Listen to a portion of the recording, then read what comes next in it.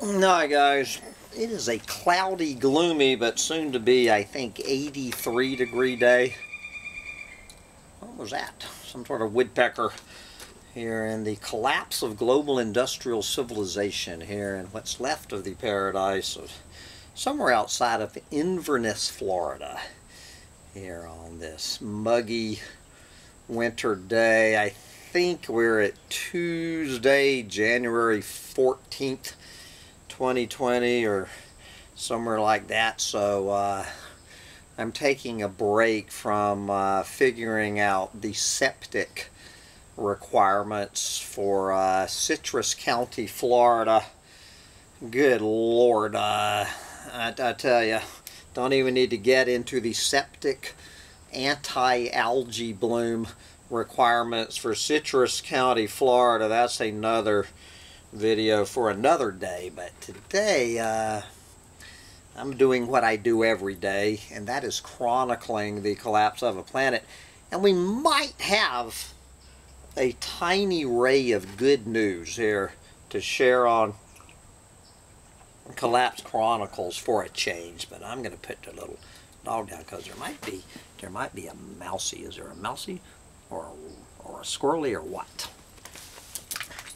Now, speaking of good news, this is at least some good news for me. I have several kind-hearted uh, listeners to send big thank yous out to. Of course, my buddy Marty Knudsen, uh, the mysterious, enigmatic angel Marty Knudsen. I really appreciate it, brother. Your latest uh, kind donation to my PayPal account, and we have three new patrons, three new Collapse Chronicles patrons, and I want to welcome aboard.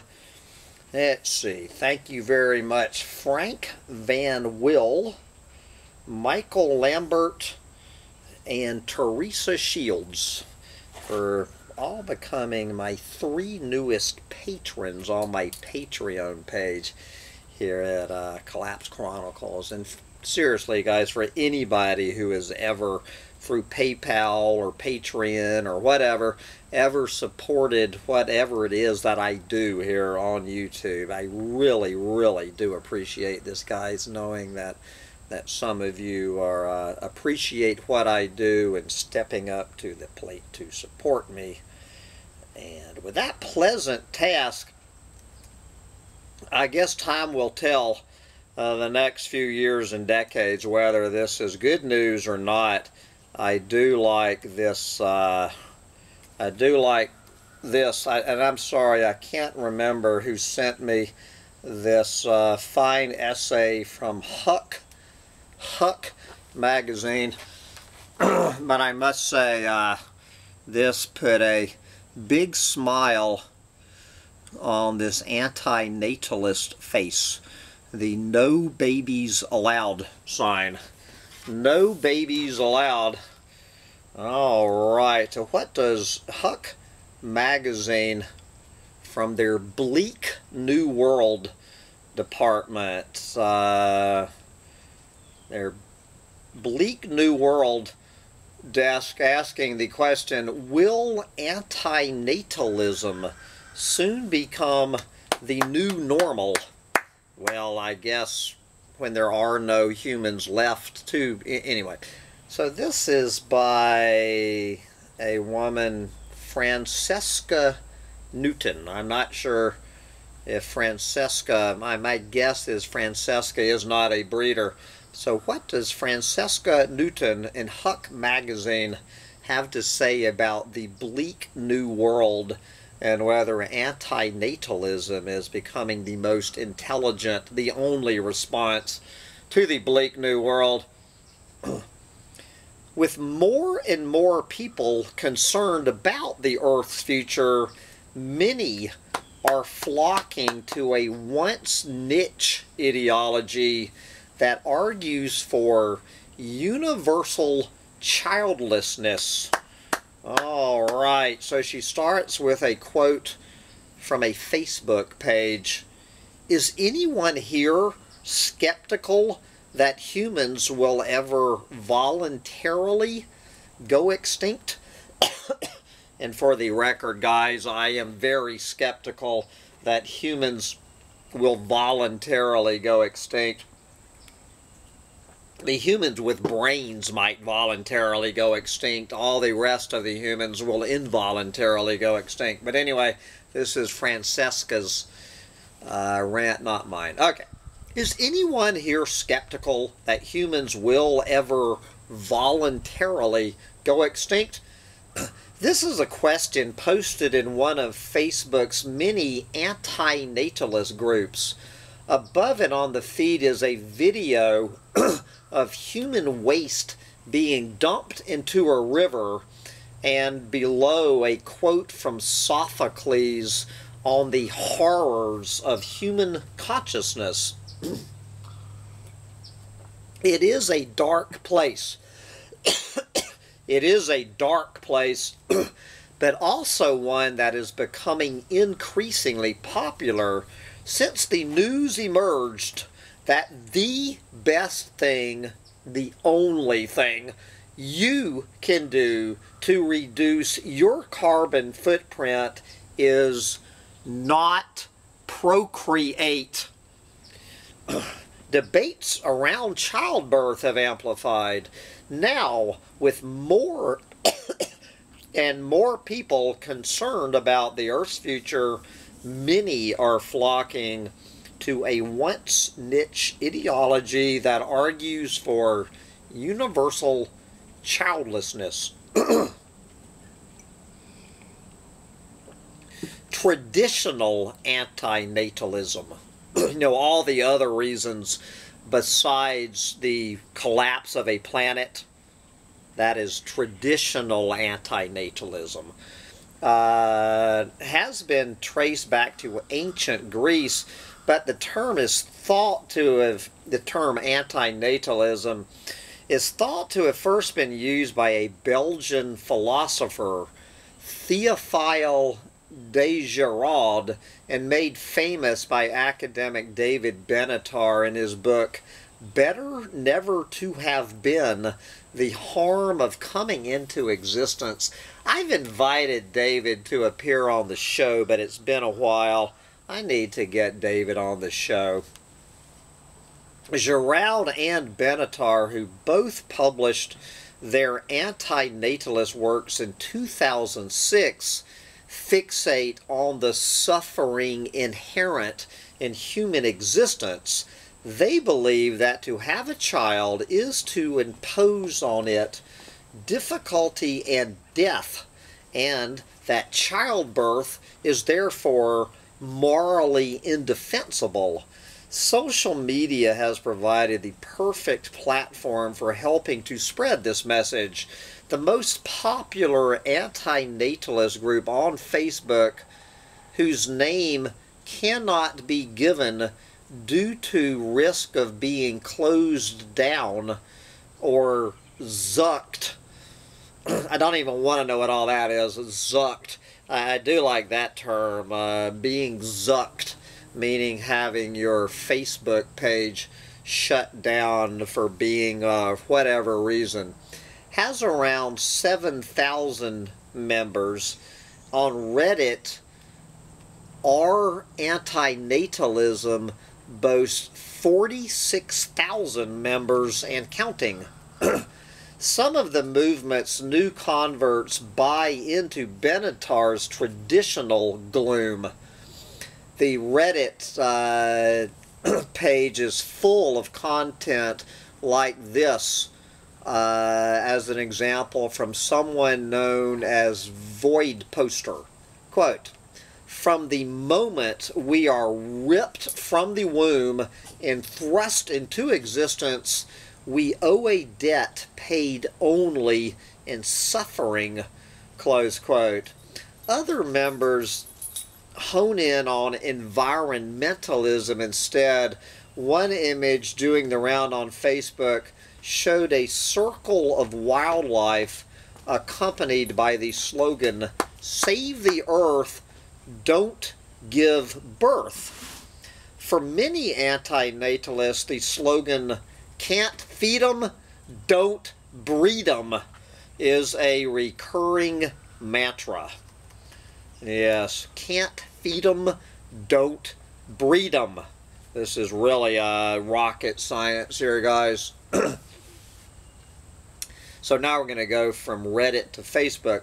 For Facebook anti-natalist, the nature of their platform means that pregnancy announcements or baby photos are readily available for collective scorn. In one particular group, philosophy and ecology have been replaced by a sociological perspective.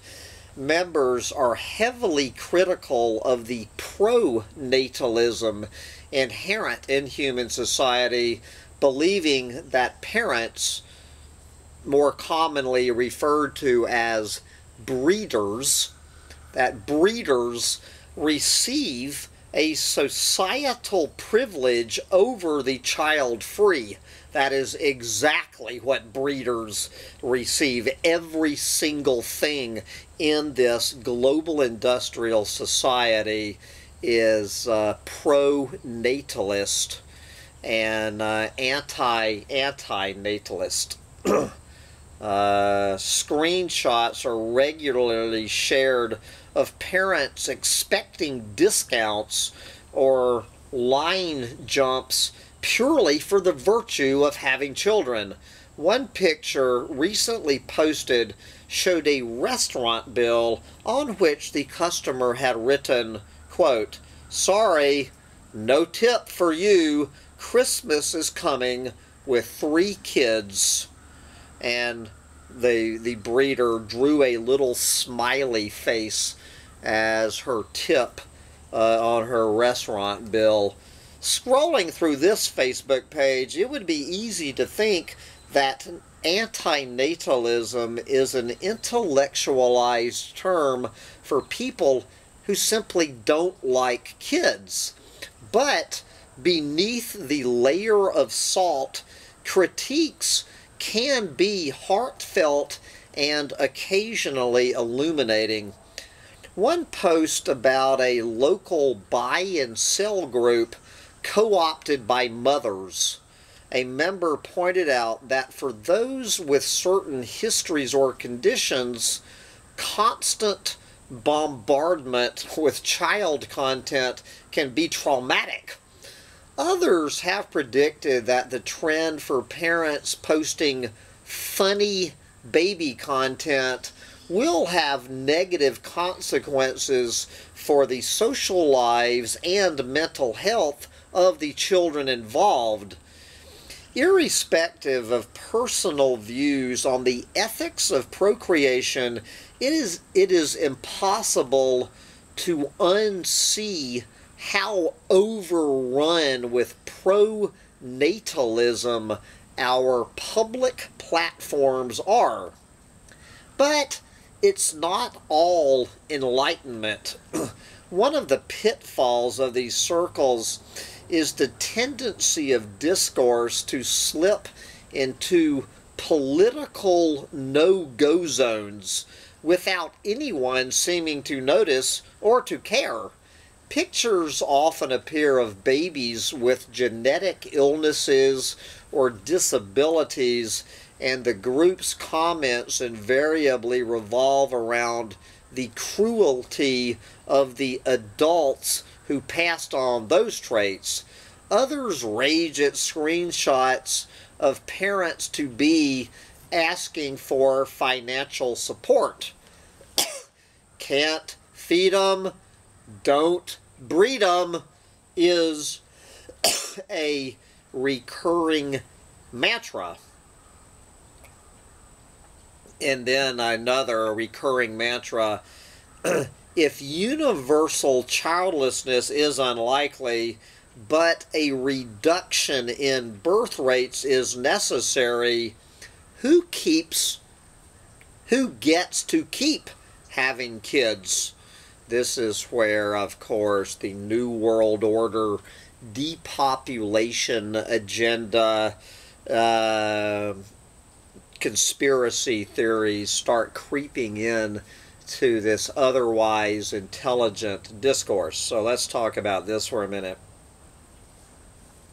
While comments like these seem like a logical extension of the antinatalist creed, if existence is already a struggle for the able bodied and financially stable, bringing into the world someone for whom life will be more challenging must be even more of an offense. The implication here is that rich, neurotypical and able-bodied people have more of a right to procreate than others. In this, those who adopt the antinatalist banner risk drawing connections between their movement and ideas about eugenics and social cleansing. It's perhaps not surprising that the vast majority of members in these groups are white. And again, guys, this is Francesca's essay. It's not mine. But once again, I, with uh, with my interest in this, uh, I continually find that uh, people do not understand the definition of the word eugenics, at least from my antinatalist perspective, is that every human should stop having babies. It has nothing to do uh, with the color of your skin or whatever. Uh, everybody needs to stop breeding. But I know I don't speak for all antinatalists. Okay. This I guess, this whole eugenics BS. This is one of the central issues of modern antinatalism if, as most accept, universal childness is unlikely but a reduction in birth rate is necessary, who gets to keep having kids? tensions like these are predictable growing pains in a movement that grinds so hard against normal thought patterns. Daniel, an admin for one of Facebook's antinatalist groups, tell me tells me disagreements are common. Quote, quoting this admin for one of these Facebook pages, quote, there are rifts between the philanthropic and misanthropic over whether antinatalism includes non-human animals or not, and whether to do activism or not, he says. There are also consequential ethics versus deontological ethics and views on death being good or bad, close quote. A lack of cohesion could be reason that the movement is struggling to shrug off its characterization of a theoretical curiosity rather than a viable belief system. Going back to Daniel any person who expresses antinatalist views in public tends to be met with hostility or confusion. The typical knee-jerk reaction is the reply, why don't you kill yourself? A question to which different branches of the movement would have different responses and uh, I'm not going to get in, in, into this. Uh, well, I am going to get into this from my branch of the antinatalist movement when I hear this ignorant question uh, about why don't you kill yourself. Uh, it would do absolutely nothing to kill myself uh, to uh, make a difference on this planet. Uh, but the buck stops here, just in case any one of you is not aware of this. I got a I voluntarily got myself sterilized at age 22 uh, before I had any children. It is the one and only thing you can do. So the buck stops here. This ignorant, ignorant, uh, that that con- why don't you kill yourself? You know, I it, it, it, the layers of ignorance and stupidity and cluelessness. Anyway, moving on. Daniel thinks it is unlikely that a majority of people will ever subscribe to antinatalism. Quote, I'm sure most people on the street still have no clue what antinatalism, he says. Do you think so, Daniel? I wonder how many people, uh, if, if I walk down the street today with a $20 bill in my hand, uh, waiting for the first person who could describe the term antinatalism. Uh, at least 500 people. But bigger waves of people join his group each time the philosophy pops up on Vice or the BBC, which, because of its initial strangeness and the worsening climate crisis is becoming fairly often. and I will give good points to uh, Vice and the and BBC for treating this issue seriously. In 2018, an academic at the University of Oxford claimed that falling fertility rates should be received positively and then remember uh, when that man in India brought a lawsuit against his parents for having him. However counterintuitive it may seem, antinatalist activity is moving beyond the computer screen and the philosophy textbook. Daniel might be pessimistic, but it is still early days and as the climate crisis worsens, it's hard to see how a belief system based on the assumption that humans are bad can do anything but flourish. Yes, well, that all depends on your definition of flourish. But anyway, it is uh, good to see a ray of hope that a few people are uh, making the voluntary decision not to bring children onto this planet for all sorts of reasons. As they figure out it is the one and only uh, lifestyle choice at this point in the collapse that anybody can make to lower their own carbon footprint and to, uh, if nothing else, uh, save the life of their own unborn child.